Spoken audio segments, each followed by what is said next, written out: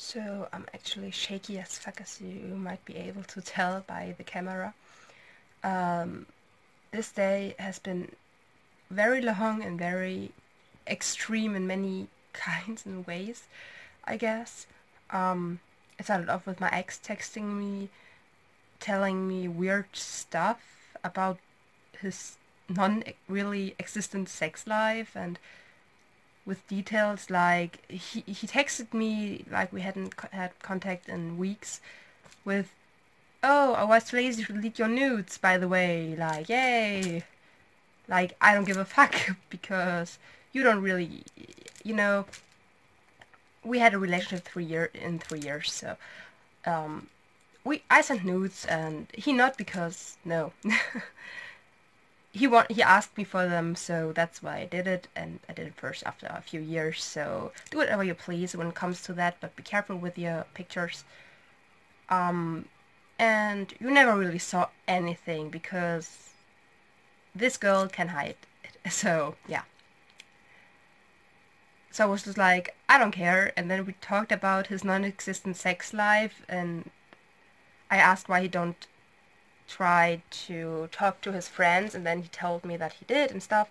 That was one thing and then was my fiance's grandma's dead yesterday, so death day the second time already. She's dead in two years. That's what I tried to to, to tell.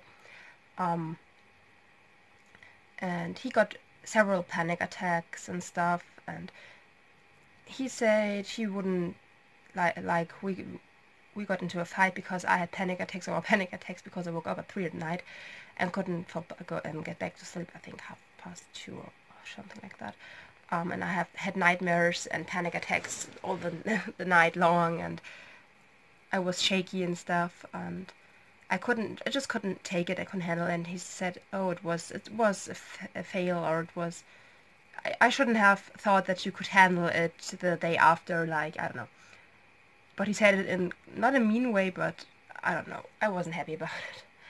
Anyway, we got into a fight eventually, and then he made a short voice message where he literally just told me, "Yeah, don't bother with me anymore. No one has to bother with me anymore ever again." And I I freaked out and after an entire long of calls and stuff because he isn't here and he isn't um, by his grandpa, he's at work um, stationary at a at a point um, around three to six hundred kilometers away from me and from his grandpa. So yeah. Um, no one had his address because I forgot about it, and yeah, it wasn't fun. And now there's panic all around.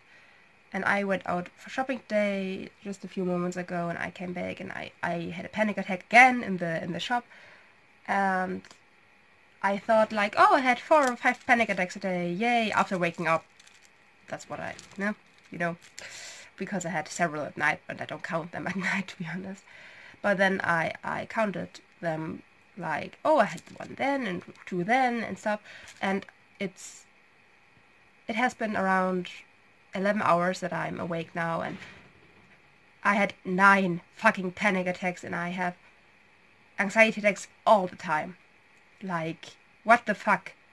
I just i can't handle it anymore. Like i i haven't slept in so long and it has been 10 months now that i couldn't really figure out how to sleep and i slept for two to four hours the last four to five weeks so each night so at high peak and i had nightmares and panic attacks. Like i saw myself dying and i saw myself at my wedding and and not only that, I saw different things. I saw myself dying at my wedding. That, that's what I tried to explain.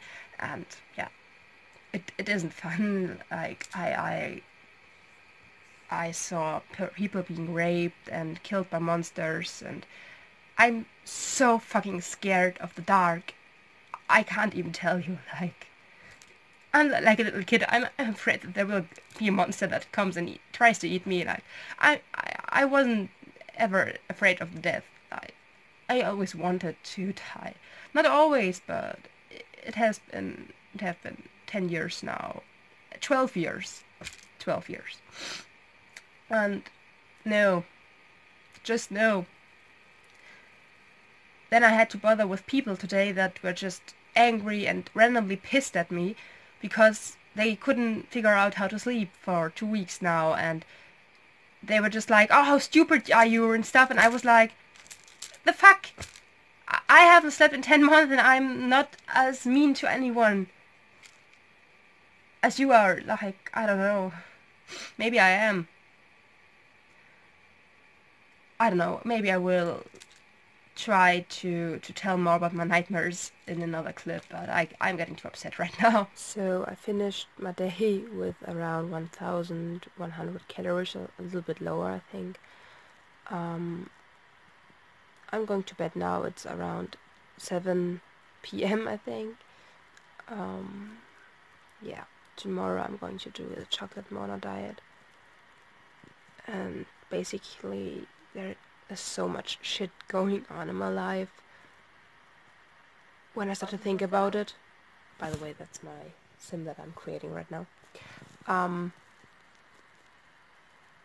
the thing that I want to do is I, I just need to torture my body, I feel like. Just to cope with everything.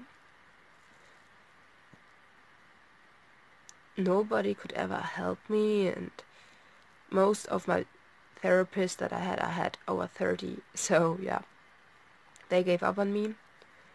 My therapist at the moment says I can't never recover fully but I can learn to live with it and stuff.